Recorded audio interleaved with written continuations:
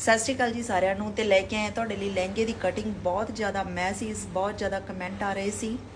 ਹਾਂਜੀ, ਆਹ ਵਾਲਾ ਕੱਪੜਾ ਆਪਣੇ ਕੋਲੇ। ਆਹ ਵਾਲਾ ਸਾਰਾ। ਇਹਨੂੰ ਆਪਾਂ ਫੋਰ ਫੋਲਡ ਕਰ ਲੈਣਾ। ਇਦਾਂ ਕਰਕੇ, ਫਿਰ ਇਦਾਂ ਕਰਕੇ ਫੋਰ ਫੋਲਡ ਕਰ ਲੈਣਾ। ਹਾਂਜੀ, ਇਹਨੂੰ ਆਪਾਂ ਫੋਰ ਫੋਲਡ ਵਿਛਾ ਲਿਆ ਹੈਗਾ। ਇਸ ਤੋਂ ਬਾਅਦ ਆਪਾਂ ਇਹਦੀ ਲੈਂਥ ਦੇਖਣੀ। ਇਹਦੀ ਲੈਂਥ ਹੈਗੀ ਹੈ 37 37 ਚੋਂ ਆਪਾਂ 3 ਇੰਚ ਬੈਲਟ ਦਾ ਕੱਢਾਂਗੇ।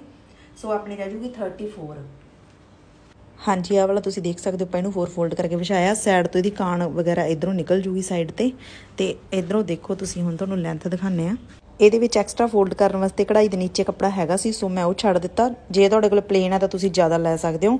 ਇੱਥੋਂ ਹੁਣ ਤੁਸੀਂ ਦੇਖੋ, ਮੈਂ ਪੂਰਾ 34 ਤੇ 34 ਐਂਡ ਹਾਫ ਥੋੜਾ ਜਿਹਾ ਵੱਧ ਲੈ ਲਿਆ ਕਿ ਘਟ ਨਾ ਜਾਵੇ ਕੱਪੜਾ। ਸੋ ਇਹਨੂੰ ਆਪਾਂ ਸਿੱਧਾ ਸਿੱਧਾ ਕਟਿੰਗ ਕਰ ਦਾਂਗੇ।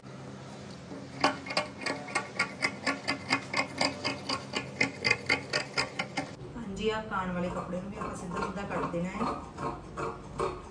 ਉਹ ਸਟ੍ਰੇਟ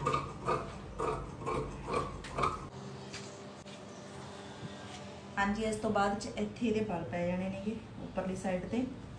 ਤੁਸੀਂ ਬਾਕਸ ਪਲੇਟ ਵੀ ਪਾ ਸਕਦੇ ਹੋ ਤੇ ਸਲਵਾਰ ਤਰ੍ਹਾਂ ਵੀ ਬਲ, ਪਰ ਸਲਵਾਰ ਦੇ ਮਤਲਬ ਆਪੋਜ਼ਿਟ ਵੱਲ ਪੈਂਦੇ ਇਦਾਂ ਨਹੀਂ, ਇਹਦੇ ਇੱਕ ਸਾਈਡ ਨੂੰ ਹੀ ਪੈਣਗੇ।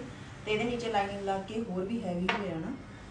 ਬਾਕੀ ਤੁਹਾਨੂੰ ਫਾਈਨਲ ਲੁੱਕ ਆਪਾਂ ਰੈਡੀ ਹੋਣ ਤੋਂ ਬਾਅਦ ਦਿਖਾਣੇ ਆ ਐਂਡ ਬੈਲਟ ਦੀ ਕਟਿੰਗ ਮੈਂ ਪਾਰਟ 2 ਚ ਦੱਸੂਗੀ।